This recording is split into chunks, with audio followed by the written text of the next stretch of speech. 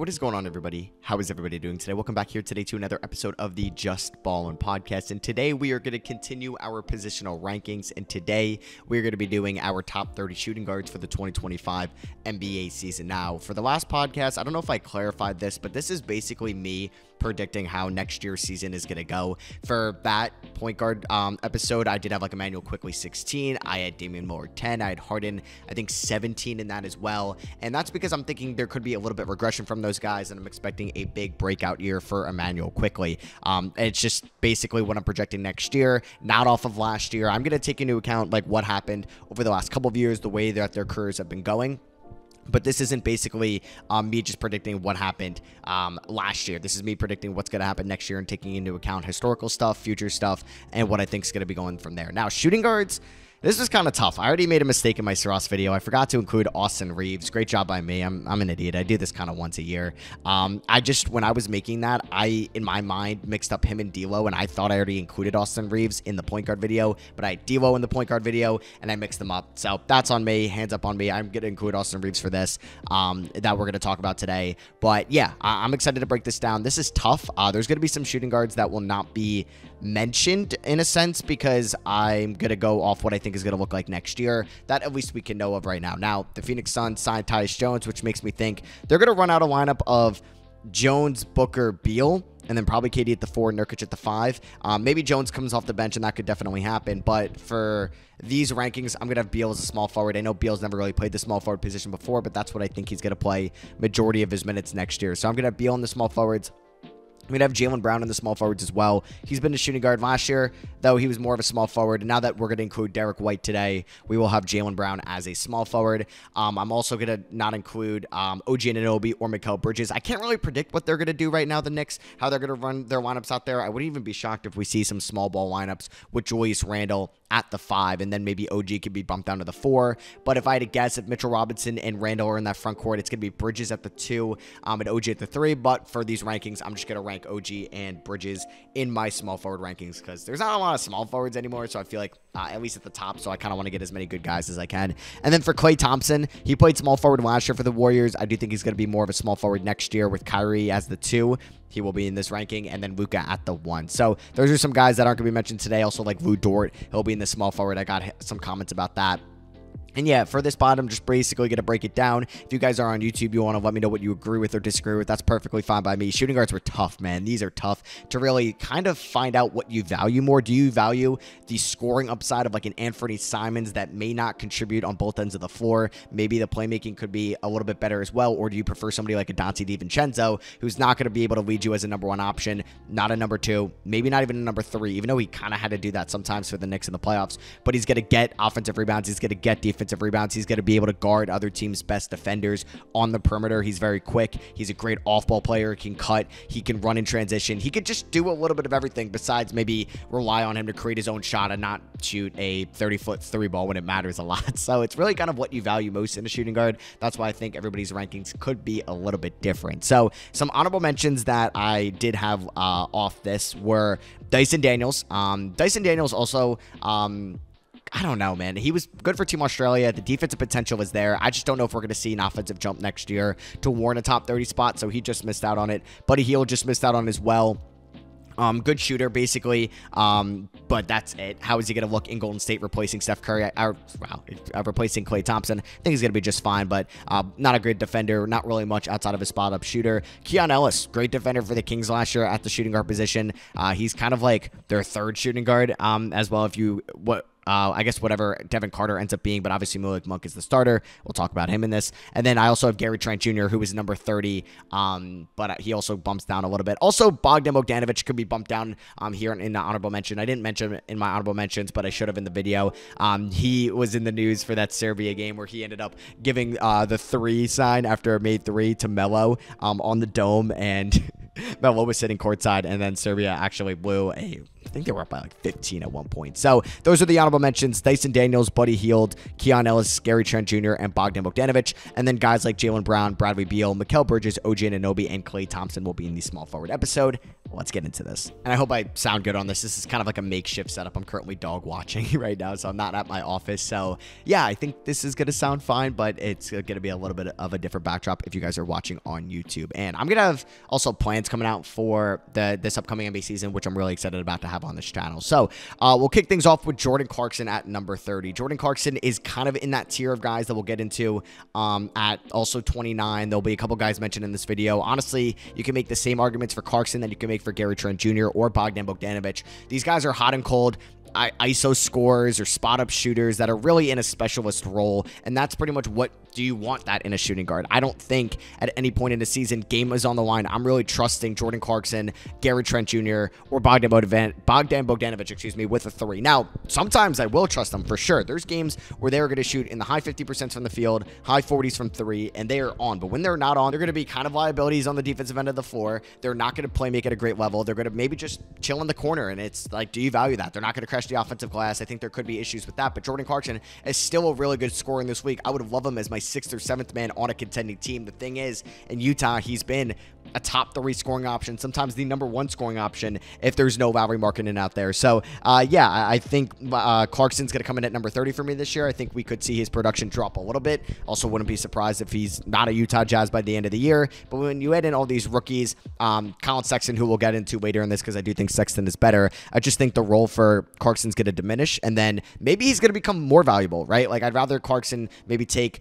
75% um, of his shots that he did last year this upcoming year. And I think he could be a little bit more efficient on a uh, diminished role and lesser volume. So I'm going to have Jordan Clarkson come in at number 30. Number 29, I got Norman Powell of the LA Clippers. I do think this could also be a big year for Norman Powell as well because uh, Norman Powell has been pretty much the third, fourth scoring option with Paul George and Harden and Kawhi there. Now that there's no more Paul George, and if there's one injury to Kawhi or Harden, he's sliding in as the number two scoring option, something we haven't seen in maybe two years. And Norman Powell is just as efficient as most of these guys on this list. He turned into an absolute elite three point shooter last year, and at some points was in the six man of the year conversation. Him and Russ there in Los Angeles, they did a nice two man game off the bench. I think he's got a nice basketball IQ for somebody in the half court. Uh, it helps he's been playing with veterans. He's been in some winning environments before, not really in Portland, uh, maybe a little bit in, in Toronto, but I, I, think Norman Powell is a really good shooting guard that you would want on your team. I I think he's a top 30 shooting guard. I'm fine if he's my starting shooting guard.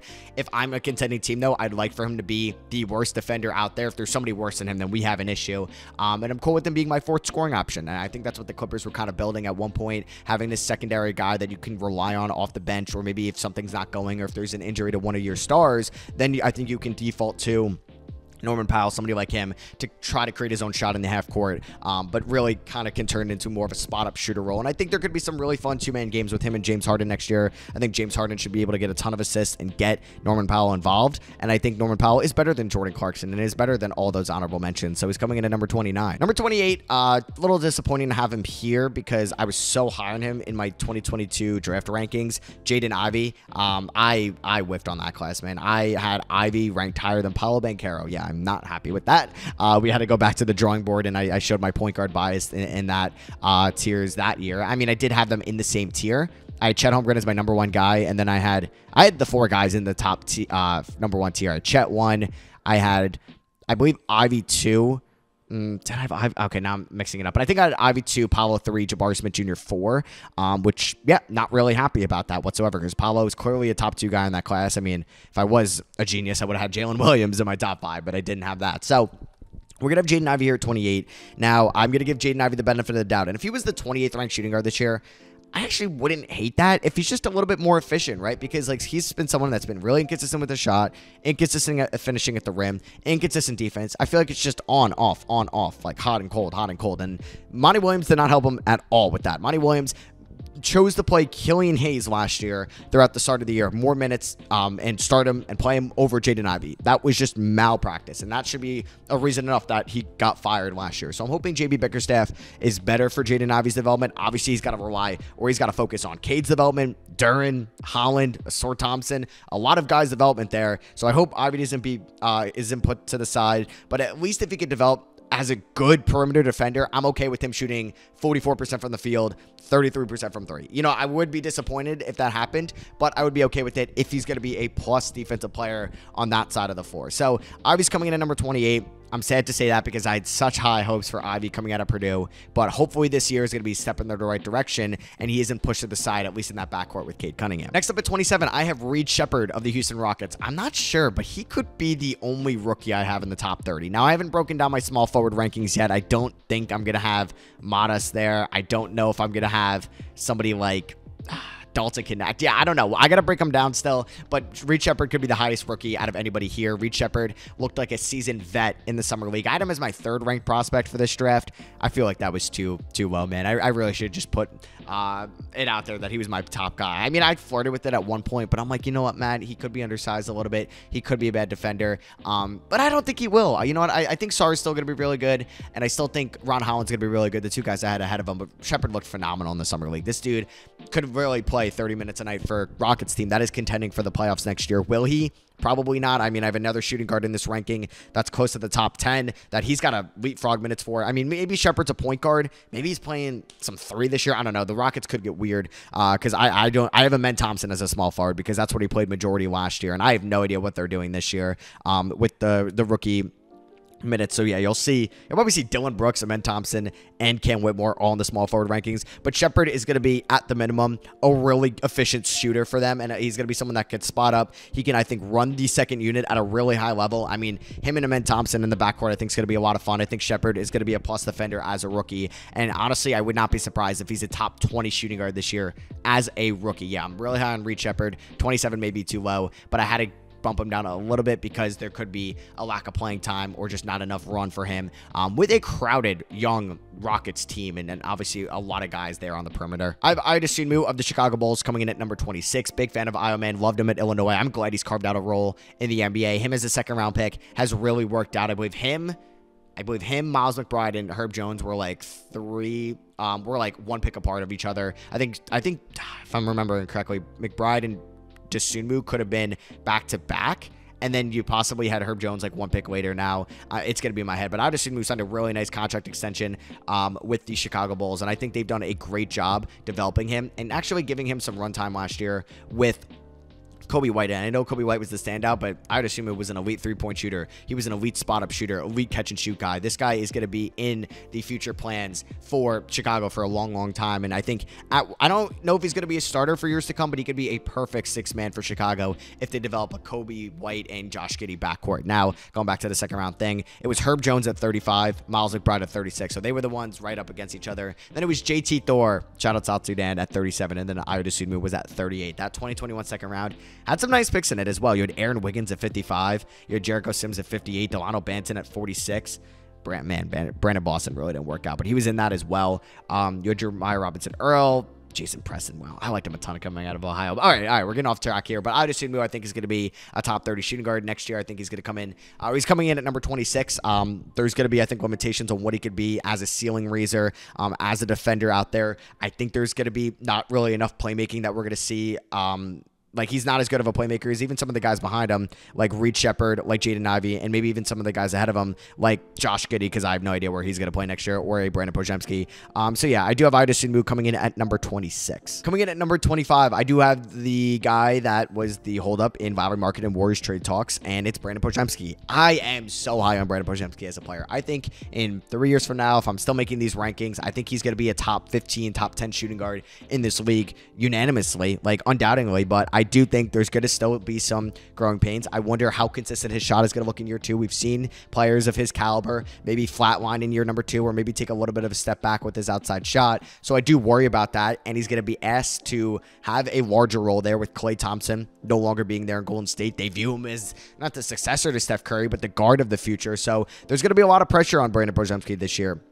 And I think he's going to live up to it. I think he's still going to improve on the defensive end of the floor. He's going to be a really good playmaker, better playmaker than almost everybody that we've talked about so far. Um, he's going to crash the glass. I like him on the on the rebounding end more than pretty much anybody here that we've talked about. And I think he's just one of those do it all guys. I think if his peak is Donte DiVincenzo was last year for the Knicks, I think you're still okay with that in Golden State. That's a really good player and that's a really good complementary piece. And I think he's going to show strides towards that in year number two. At number 24, I have Josh Giddey. Now I did Coby White in my point guard rankings. Not really sure where Giddey's going to play next year. I I like would like to think it's going to be the point guard position and they may swap Coby White to the two um, and run that backcourt with Giddey initiating the offense, and White could be a little bit more as an off-ball guy. But Giddey played shooting guard last year for the Oklahoma City Thunder, so I'm just going to rank him here as a shooting guard. Um, but yeah, Josh Giddey, I mean, there's obviously limitations to his game, and we saw those on full display in the playoffs. Somebody that was not uh, like a plus on the defensive end of the floor. Teams were leaving him wide open. And in a playoffs game where the intensity is up a notch, you don't really trust him attacking the rim as much as you would maybe in the regular season. Um, I still think Giddey's a really good player. I think he's got really good ball skills, really good court vision, um, and I think he's someone that's going to be a floor raiser for the Chicago Bulls team. I think he's perfect for this team to help the development of Dosunmu, White, Buzelis, Patrick Williams, and whoever else comes and goes. Um, that's a young piece there in Chicago. Even Jalen Smith this year. I'm excited for Josh Giddey and Jalen Smith. I think that could be a really underrated two-man game this year, um, and he's not going to be a ceiling raiser. He's not going to win you a finals. He's not going to carry this team to the playoffs, but I do think he can make everybody around him better, and I have him coming in at number 24. Coming in at number 23, I have Collin Sexton of the Utah Jazz. I feel like Sexton, kind of an underrated player in this league. This dude is very efficient out there. He's got a nice step back jumper. He's a very efficient three-point shooter, good at attacking the rim, can finish strong at the rim for somebody of his size as well. And I really like the way that he's adapted and really, um, I guess, become the identity of this role as, you know what, I'm not a lead initiator. I'm not this pass first playmaking point guard that I was at Alabama, or maybe scouts thought I would be in Cleveland. He's really developed into this off ball secondary shot creator role, and I think has been the second best player on the Utah Jazz since he's been traded there with Lauri Markkanen, who's obviously the best guy. I think he's been better than Jordan Clarkson over the last two years, and he was not really a throw in in that in that Donovan Mitchell deal, but he was like, yeah, we'll take a flyer on on Sexton. I mean, they liked him enough to take on the extension, and he has, I think, been worth every penny, and they could get a nice I think, return for him at the trade deadline if they moved on from him. But I'm a big fan of Collin Sexton, and 23 may be too low at the end of the year. Coming in at number 22, I have Alex Caruso of the Oklahoma City Thunder. I think he will definitely be the shooting guard for them next year. I could see him starting in that backcourt with Shai, and then you still, uh, I don't know though, because they're, they're paying Hartenstein a lot of money to what come off the bench. I don't know about that. So maybe Caruso will come off the bench at least to start the year. But he is arguably the best defender on this list. I mean, there's a tier one of defending shooting guards that we'll talk about. Uh, he's one of them. Uh, we'll obviously get into Jalen Suggs and Derrick White,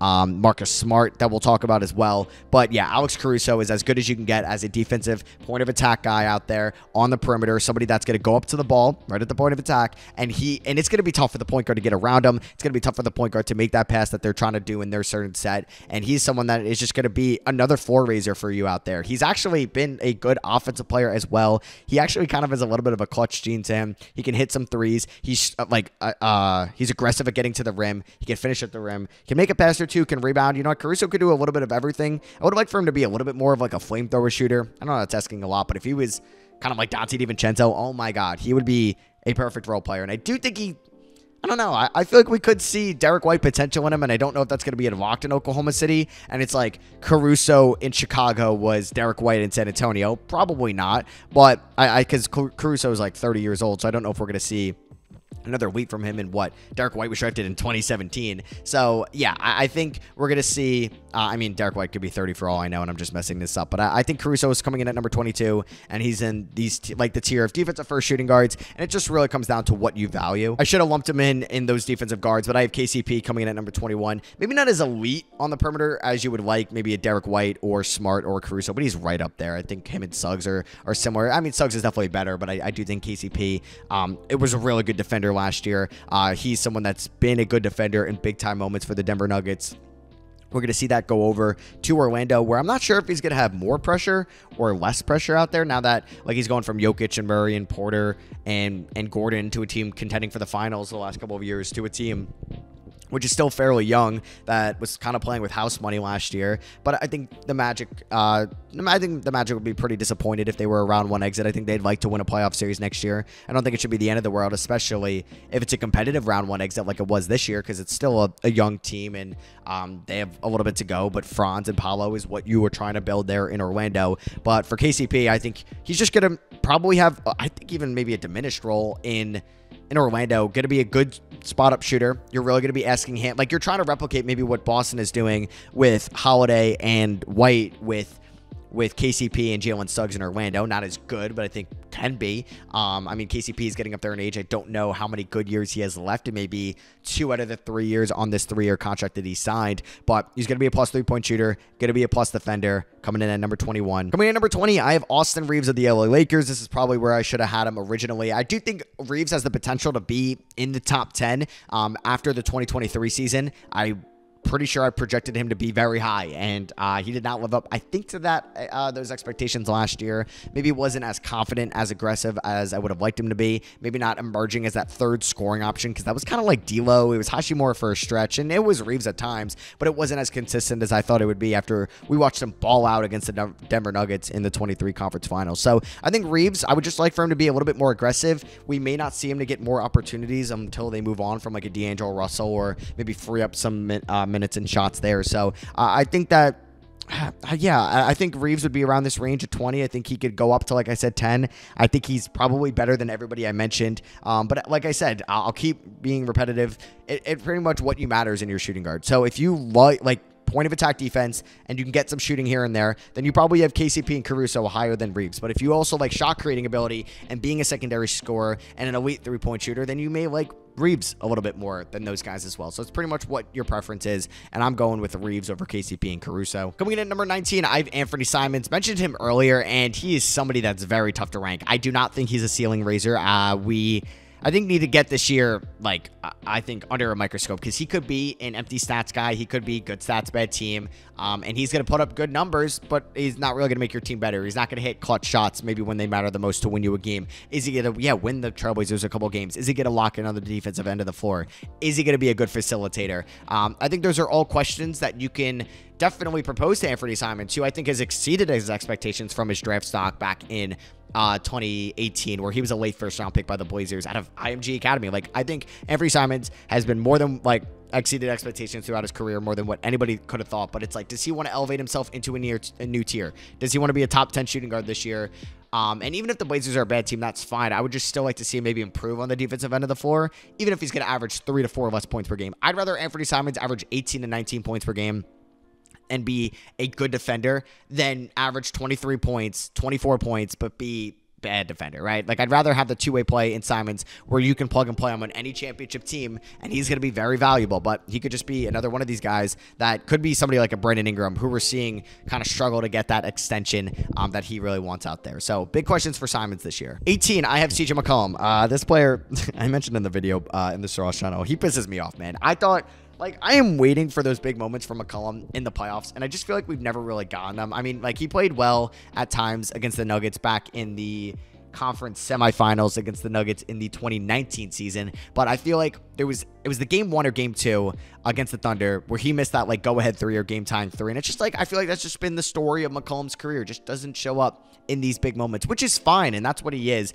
But I just don't think I could put him any higher than 18. He's gonna get his teammates involved. He's still gonna be able to get um his threes and be a plus shooter out there. Not a great defender, but I- am excited for him to go kind of go back into a shooting guard this year. I had him in the point guard video uh, originally, but I'm like, you know what? It's going to be Murray at the one, McCollum at the two. Uh, so I, am excited to see McCollum be more of a shooting guard again. Coming in at number 17, I think could also be similar to what I said about Anthony Simons, and that's Cam Thomas. Cam Thomas may average 25 points per game this year, but if I'm not going to see him, I mean, the Nets are not going to win many games, but if I'm not seeing him improve on the defensive end of the floor, improving as a playmaker, showing that he doesn't need to take X amount of shots, like whatever it is more next year, if his efficiency is going to drop, I don't want to see Cam Thomas shoot 44% from the field, 34% from three. I want to see Cam Thomas shoot 47% from the field um, and 38% from three, even if that means he's going to average 18, 19 points per game. I don't want to see him put up 24 points on bad efficiency. That's not really going to do much for me, but I do think Cam Thomas is going to be a plus offensive player for a really bad team next year.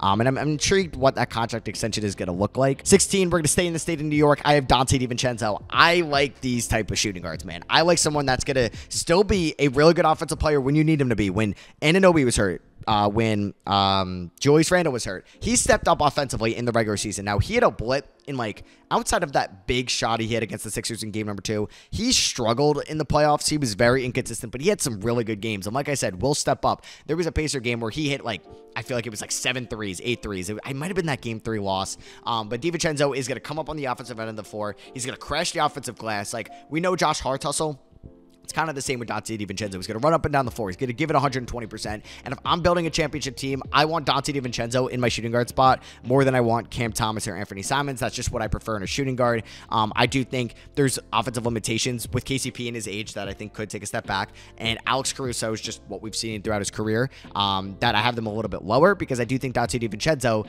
if he wanted to, could be a 20 point per game scorer, but he doesn't need to be. And I don't know if KCP and Caruso have that, but obviously they're better on the defensive end of the floor. But I think there's a larger gap between DiVincenzo's offensive game and KCP's and Caruso's than the reverse of KCP and Caruso's defense to DiVincenzo's defense. So that's why I'm high on him coming in at 16. Coming in at number 15, I have Marcus Smart of the Memphis Grizzlies. Let's not forget about Marcus Smart. He didn't play too much last year. He was hurt at times uh, for the Memphis Grizzlies. That whole team was hurt, but it was two years ago where Marcus Smart ended up winning Defensive Player of the Year. Last year, he appeared in 20 games, 14 and a half points, three rebounds, four and a half assists. Uh, he did shoot 31% from three. Now, there's going to be some like hero ball, no, no, no, yes, like shots from Marcus Smart. Like, what are you doing? Um, but I think he's going to be in a win now mindset. He just watched his former team win the NBA Finals. He's still going to be an elite defender. I don't know if he's going to be an all defensive defender next year because Marcus Smart is now 30 years old. It's making me feel old.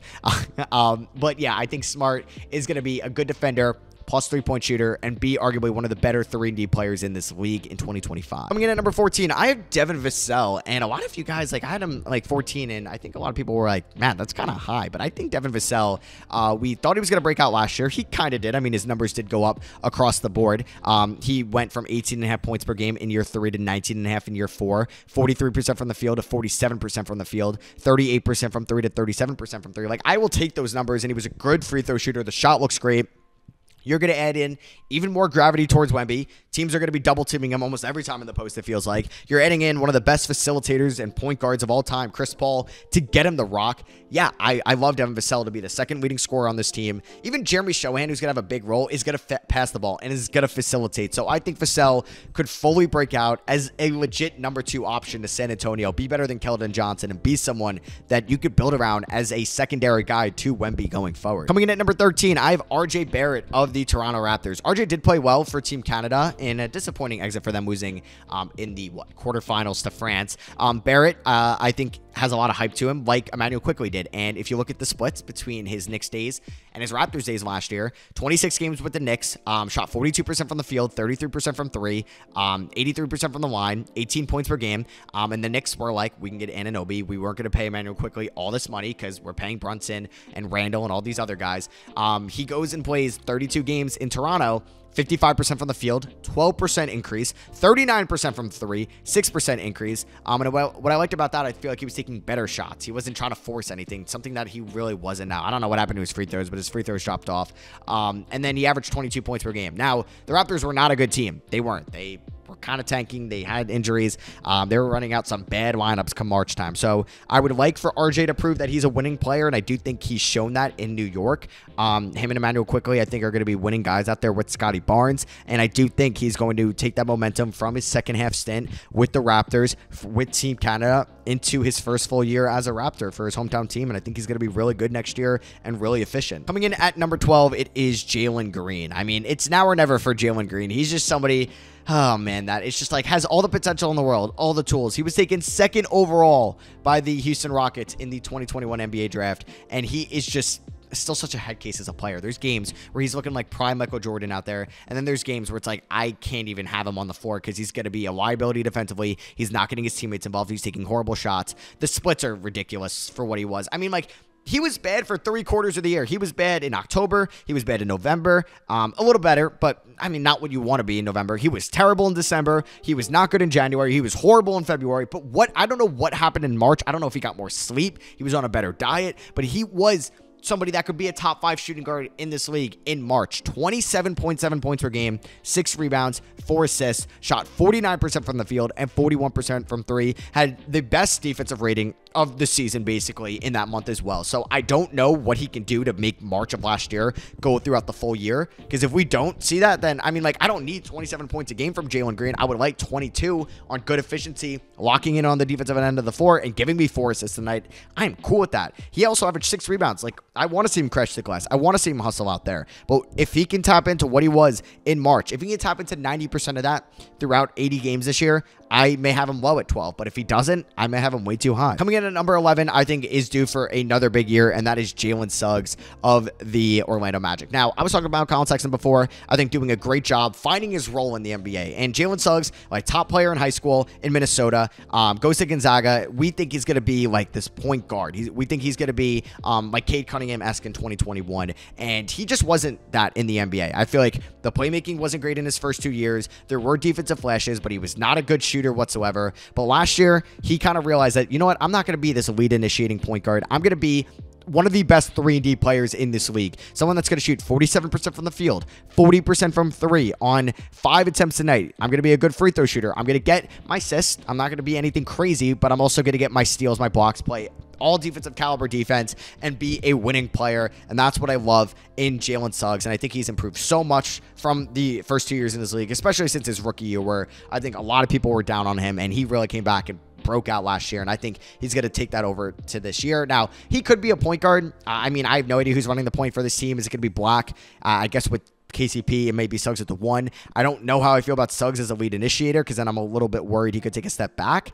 Um, maybe it's going to be Paolo as the lead initiator.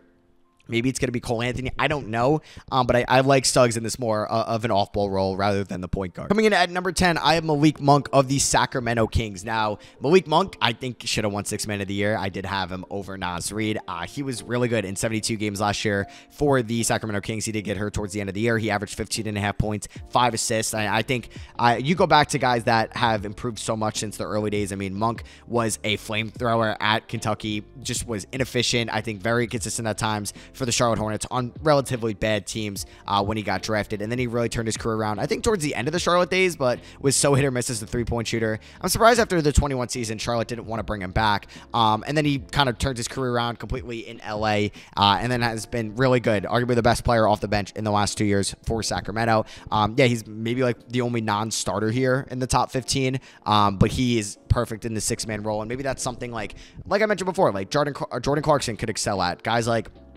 Maybe it's Anthony Simons or Cam Thomas one day for a good team could excel out because that's what we're seeing Malik Monk do for a good team in the Western Conference. All right, let's kick off the top nine here. I do have Tyler Herro of the Miami Heat. I think people dislike Tyler Herro, and I get why for sure. I, I, mean, he's someone that I think is a little too cocky out there, thinks of something he's not, but he is someone that is still a very good basketball player. And I know the Heat have dangled him in Lillard talks before and other top guys on the market. And Herro is somebody that I don't know could be a number one or number two option. We saw him that uh, with that role against the Celtics in round number one, and he was abysmal. He looked lost out there, was taking horrible shots, turning the ball over. But I think yeah, I mean, he won six minutes of the year in 2022. I mean, the Heat, I think, are going to need to start him next year. Um, he was banged up last year. He was banged up in the playoffs in 2023, but he's someone that's going to be, I think, a consistent 20 point scorer a night. He's going to be efficient. He's going to get to his spots. He's going to do it, I think, with easy. He a nice mid range jumper, and I just kind of like his game a little bit more than Malik Monk's right now, and that's why he's coming in at number nine. Coming in at number eight, he broke out in the playoffs last year for the Indiana Pacers. He was good for Team Canada,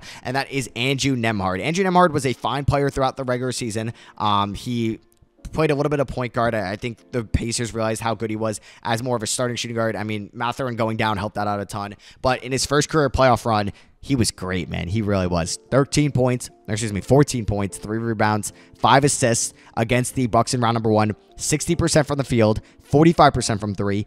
Carries the momentum in round number two against the Knicks, 12 points, three rebounds, five assists, hit a massive game winner in game three, 55% from the field, 53% from three. I feel like he wasn't missing. He is a great mid range jumper as well. He has such a good touch around the rim. And then against the Celtics, 21 points, four rebounds, eight assists in 35 minutes, shot 54% from the field, 48% from three, 89% from the line. Man, Andrew Nembhard could be really good next year. I'm going to have him. I think I'm debating between him or Immanuel Quickley as my most improved player. Um, I may go to Quickley just because Nembhard, like, there's so many mouths to feed in Indiana and with Mathurin back. Um, Walker may have a bigger role. Like, I don't know if he's going to get those opportunities that we saw in the playoffs, but in the playoffs, I want him more than almost everybody else that we talked about. Coming in at number seven, we have another Memphis Grizzlies, somebody that was banged up last year, like that whole team, and that is Desmond Bane. Desmond Bane appeared in 42 games last year. He averaged 24 points, four four and a half rebounds, and five and a half assists. I do expect those numbers to go down next year when everybody else is healthy and you have Ja Morant back. But Desmond Bane is as elite of a shooter as you can get.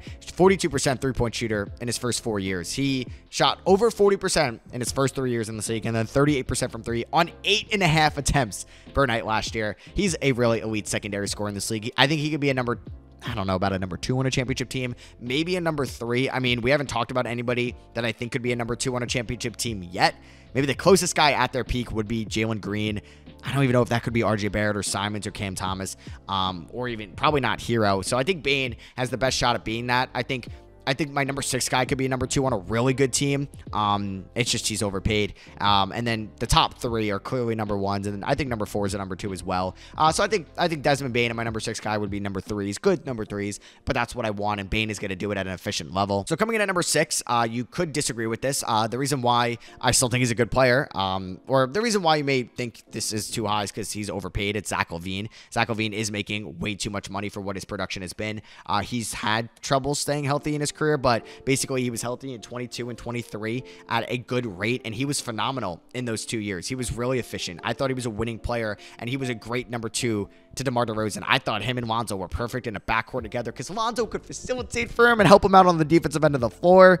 Uh, I don't know if we're going to see that in Chicago, and LaVine may be a small forward at the end of the year because this is the third bowl that I've talked about. Um, but over those two years, from the 22 season and the 23 season, 24 and a half points, four and a half rebounds, four and a half assists, uh, shooting 48% from the field, 38% from three, 85% from the line. I think he gets to the rim well. Uh, he is going to be inconsistent, but he was an all star um, in 21 and in 22.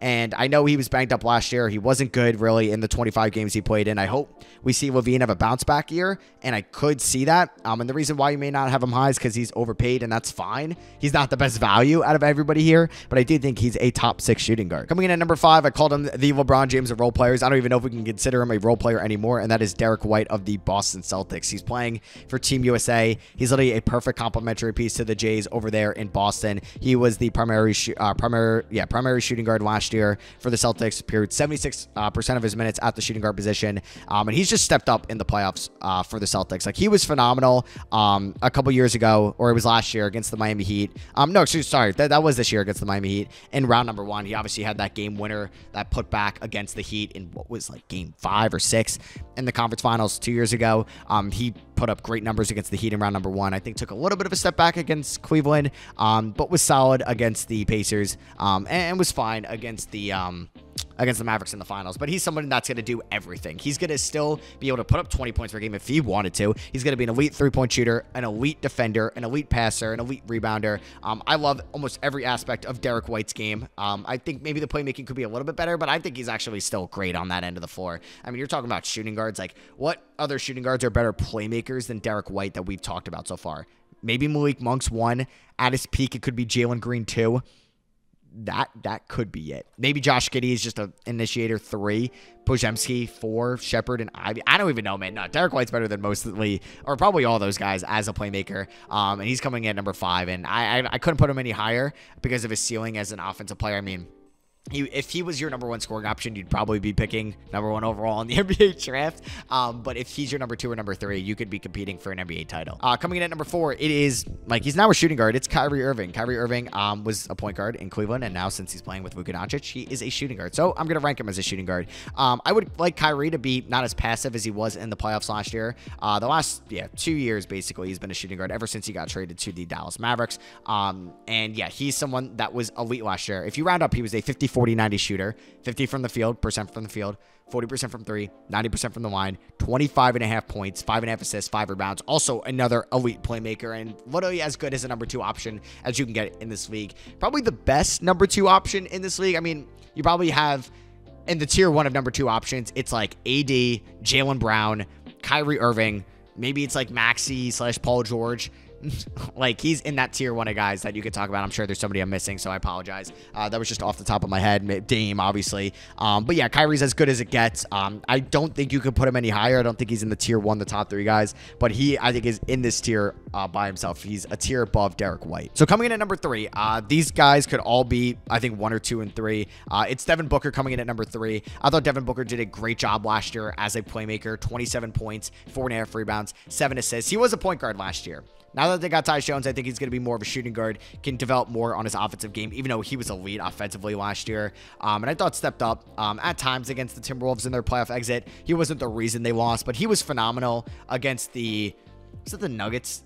Yeah, it was the Nuggets two years ago. Eh, he doesn't really show up uh, at times in elimination games, but he's been really good throughout the course of his career in the playoffs, besides maybe the conference finals against uh, the Clippers a couple years ago. But hey, they won that series. Uh, but yeah, last year, uh, he ended up playing 91% of his minutes at the point guard position. I do think he'll be more of a shooting guard this year, and he's a top three one. If you have him at one or two, I'm okay with that. I think these guys, one, two, and three, are so close to each other. Coming in at number two, it's Donovan Mitchell. Uh, Donovan Mitchell kept the Cavs alive and as one of the best teams in the NBA when Garland and Mobley were out. He only appeared in 55 games last year, put up 26 and a half points, five rebounds, and six assists a night. It's pretty much what guy do you think you can rely on more in the playoffs? Um, I think I mean, it could go either way, who you prefer more. I mean, Donovan Mitchell's had his playoff moments, but he's also had his disappointing playoff exits. Uh, and he's someone that I think you can rely on as much as anybody else here. Uh, there's going to be some inefficient games. I mean, his last playoff series for Utah was really bad against Dallas, but ever since coming to Cleveland, I mean, he's been back and forth for sure,